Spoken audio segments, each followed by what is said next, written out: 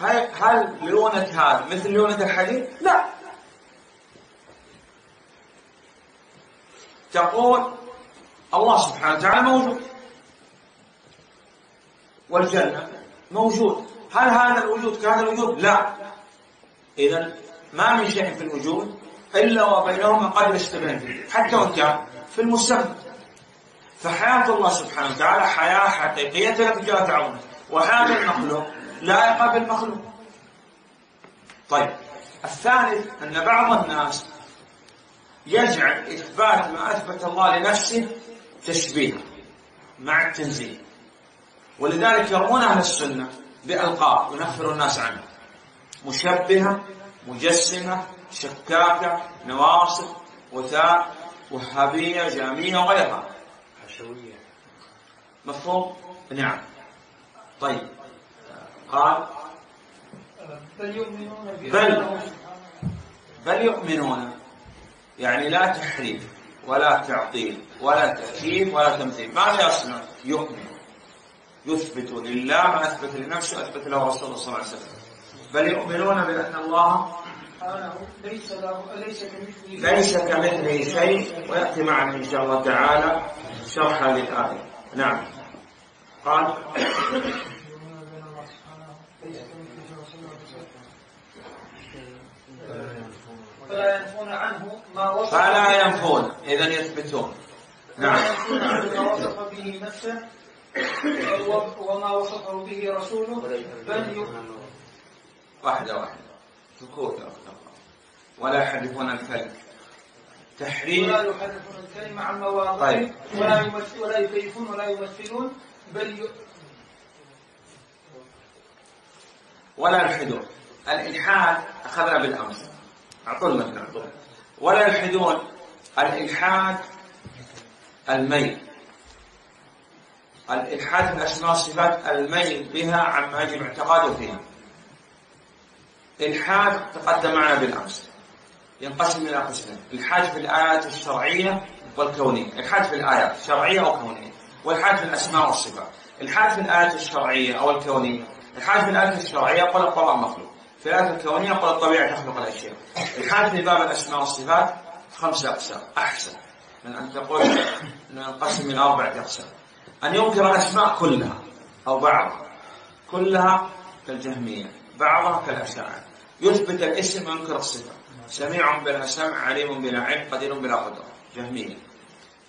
الثالث أن يجعلها دالة على التمثيل. يشتق منها أسماء الأصنام اللات والعزى ومناة. يسمي الله بما لم يسمي به نفسه إلا فاعل وقادر على اختراع وثالث ثلاثة. نعم تعيد قال؟ بل. فلا آه بل هم يؤمنون بأن الله تعالى ليس كمثله شيء وهو السميع البصير فلا ينفون عنه ما وصف به نفسه ولا يحرفون الكلمة عن مواضعه ولا يلحدون في أسمائه وصفاته نعم. ولا في في الأسماء أخذنا. هذا معناه أن المؤلف يشير. إلى أن ال-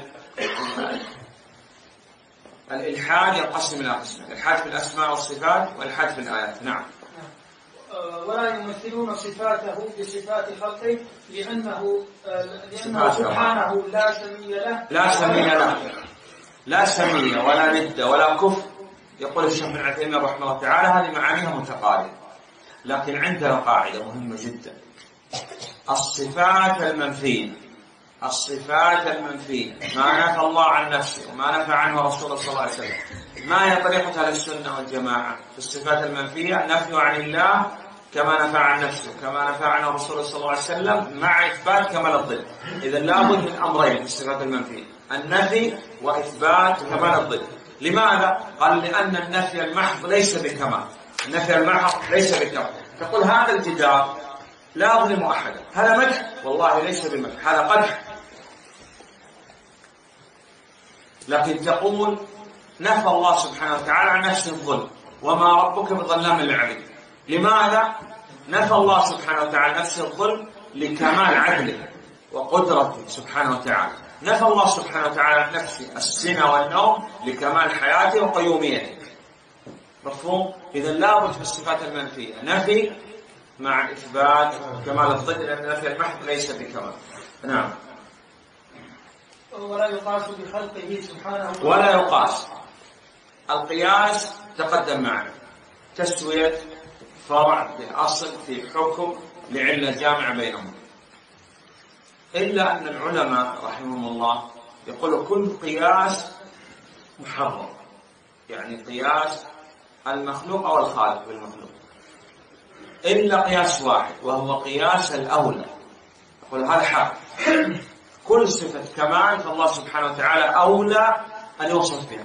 وكل صفة نقص عيب فالله سبحانه وتعالى أولى أن ينزع عنه. نعم. فإنه آه، أعلم بنفسه. لماذا يقول فإنه أعلم بنفسه وبغيره؟ أصدق. وكذا هذه الأشياء اللي ذكرها المؤلف. ذكرها هنا تأتي بإذن الله تعالى في التدمرية هذه يسميها العلماء عناصر الدلالة والإفهام. واحد كيفية الرد على أهل الشبهة صح؟ وكيفية الإجابة عن من سأل عن الحكمة الدرس الماضي قول عائشة رضي الله عنها.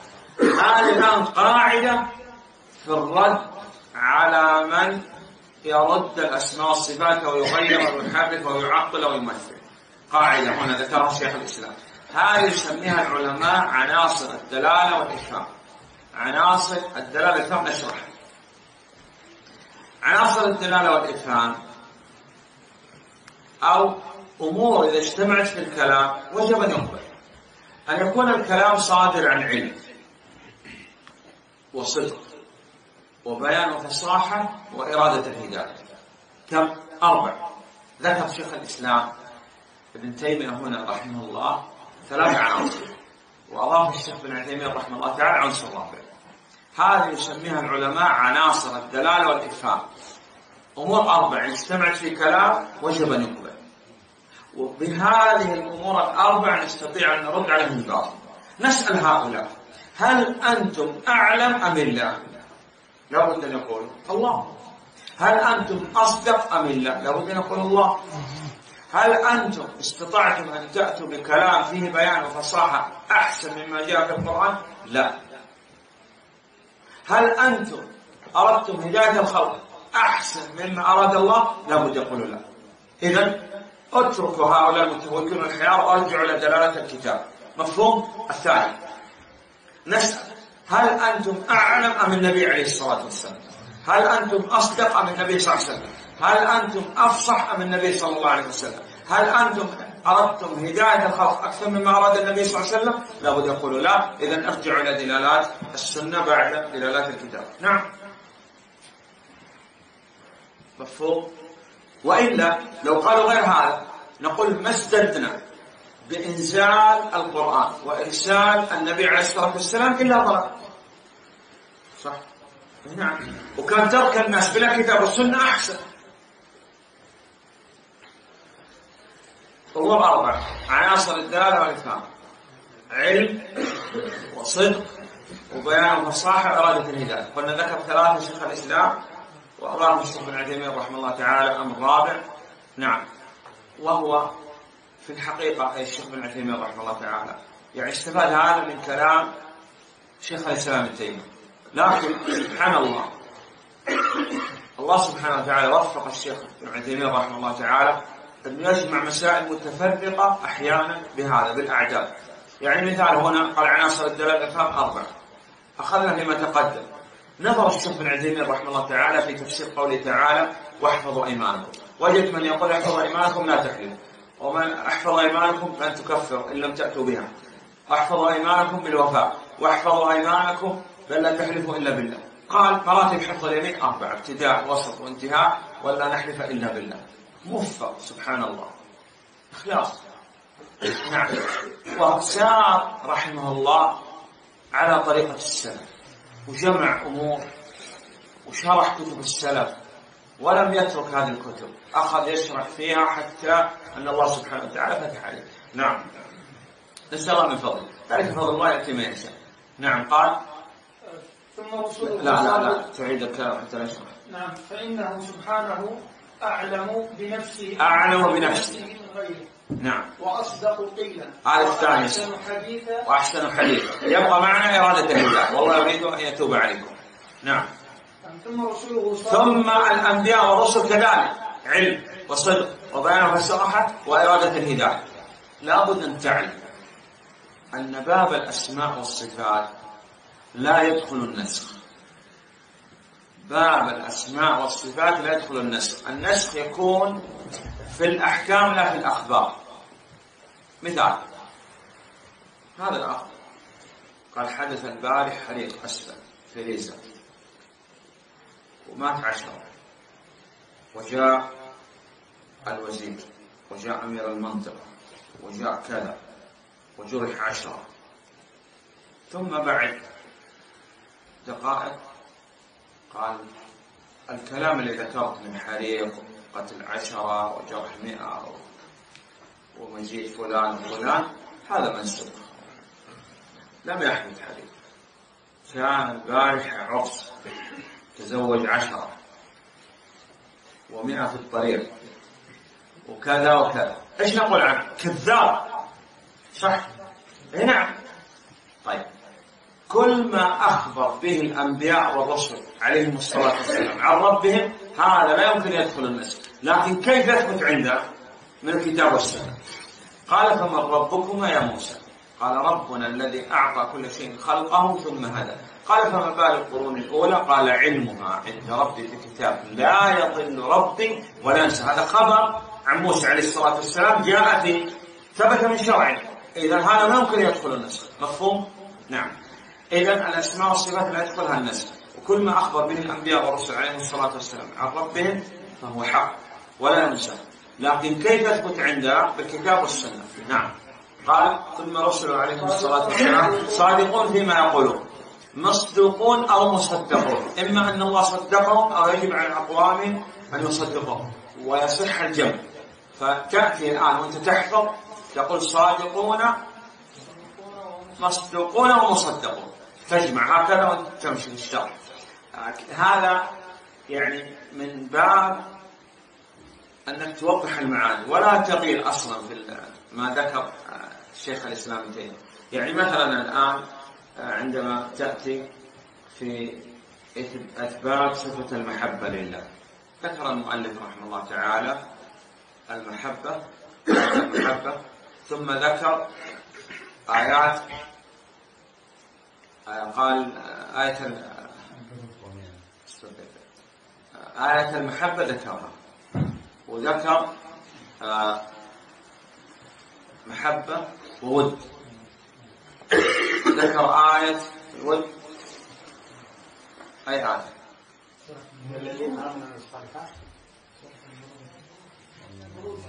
من يحفظ؟ يحفظ المتن يا اخواني آية المحبة.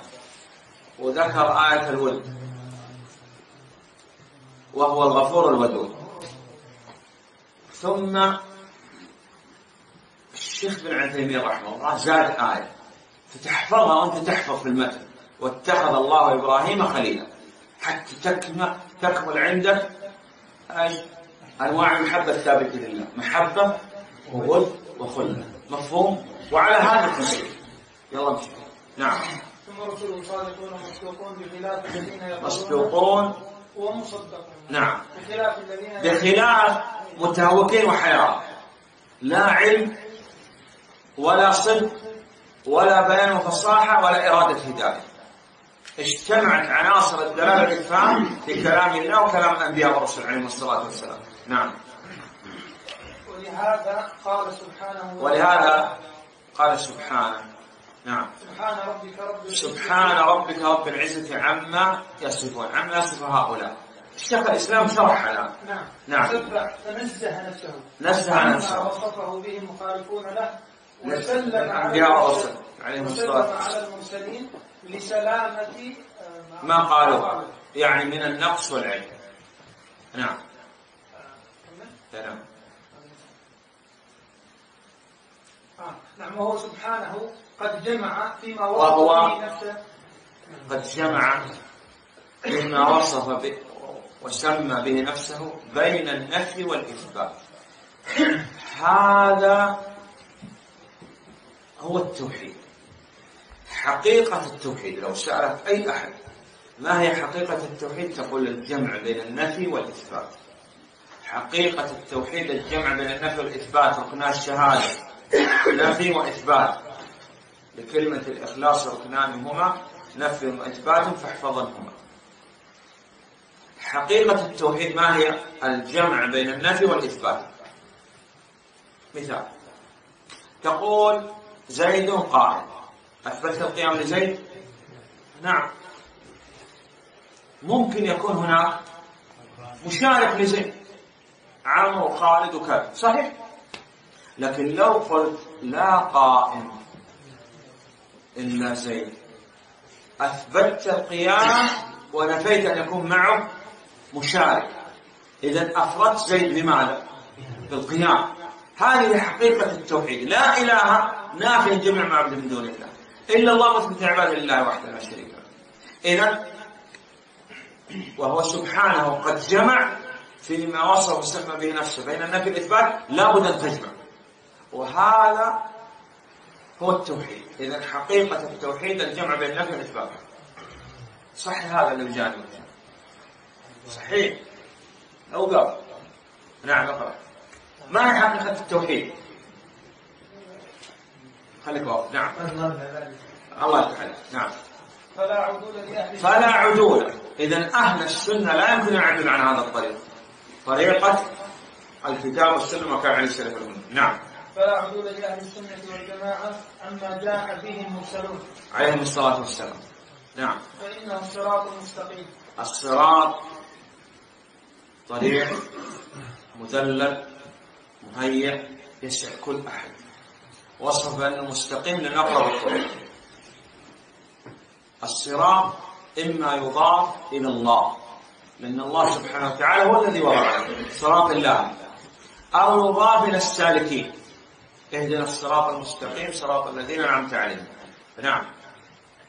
بدل إن الصراط المستقيم صراط صراط إنه صراط مستقيم صراط الله صراط الذين أنعم الله عليهم. أنعم الله عليهم. الذين أنعم الله عليهم. من النبيين والصديقين والشهداء والصالحين. الأنبياء هم أنبياء وصديقين وشهداء وصالحين والصديقين صديقين وشهداء وصالحين والشهداء شهداء وصالحين والصالحين صالحين. مرة أخرى. الأنبياء هم أنبياء عليهم الصلاة والسلام. والصديقين والشهداء والصالحين والصديقين صديقين وشهداء وصالحين والشهداء شهداء وصالحين والصالحين صالحين. مرة أخرى. أو مرة ثانية. الأنبياء صديقين ولا شك. ائتمنهم الله سبحانه وتعالى. وشهداء نعم وصالحين. والصديقين من هم؟ والذي جاء بالصدق وصدق به. وتقدم الصديقين في هذه الأمة أبو بكر الصديق رضي الله عنه. صديق هذه الأمة. عائشة رضي الله عنها الصديقة بنت الصديق. صدقها الله سبحانه وتعالى. وبرأها مما رماها به أهل النفاق الصديقين الشهداء شه- إما شهداء المعركة أو العلماء لأن العلماء شهداء. شهد الله أنه لا إله إلا هو والملائكة وأولو العلم قائما بالقسط أي بالعلم. والصالحين هم الذين أدوا ما فرض الله عليهم فعل الطاعات واجتناب المحرمات. فهم صالحين. مفهوم؟ نعم. قال؟ نعم، وقد وقد. نعم. وقد دخل في هذه الجملة في هذه الجملة أي جملة؟ جملة ما وصف الله سبحانه وتعالى به نفسه.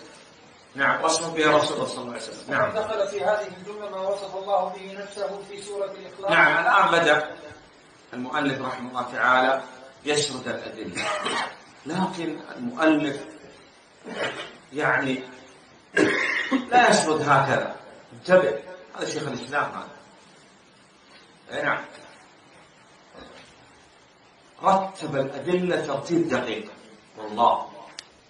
وهذا من فضل الله. جاء بسورة ثم بآية ثم أخذ يورد الأدلة. شيء فشيء فشيء وأطال في آخر أدلة. سوف يأتي معنا لماذا وهذا تدل على فقه المؤلف رحمه الله تعالى.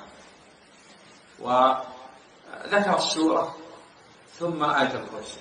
وتكلم عن السورة وعن الآية. طيب آه، الله أعلم نجعل هذا القسم الثاني إن شاء الله تعالى آه، بعد صلاة العصر. والله أعلم وصلى الله على نبينا محمد وعلى آله وسلم. كم بقي؟ إذا إلى صلاة العصر نراجع إن شاء الله تعالى ثم نبدأ بشرح الأدلة من القرآن.